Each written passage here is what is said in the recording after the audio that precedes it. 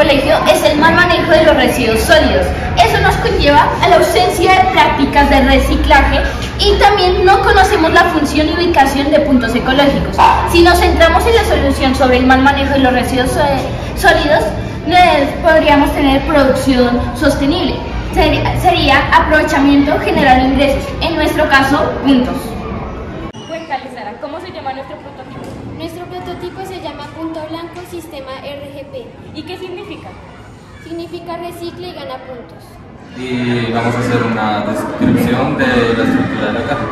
La caja eh, se encuentra hecha de madera del futuro, reciclada de proyectos previamente hechos en la situación. Las tapas están hechas de cartón y pues utilizamos papel reciclado para la impresión de todas estas texturas que se encuentran en la caja.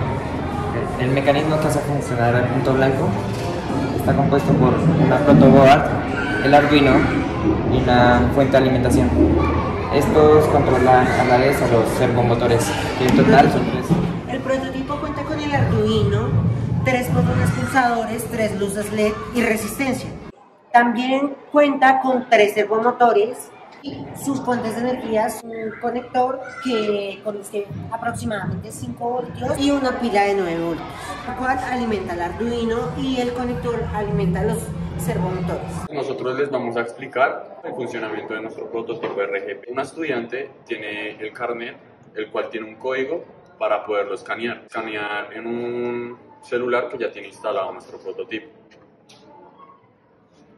Una vez se genere el código QR nos proporcionará una base de datos del estudiante, el cual elegirá la caneca de acuerdo al residuo que quiera almacenar, como lo es residuos de envoltorios y eh, plásticos y vidrios. El objetivo del prototipo es optimizar la clasificación de residuos sólidos no orgánicos.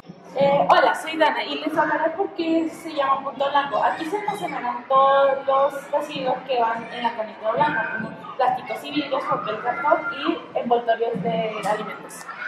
Hola, nosotros somos el grupo Maxi Pensantes del Colegio Miguel Antonio. ¡Eh!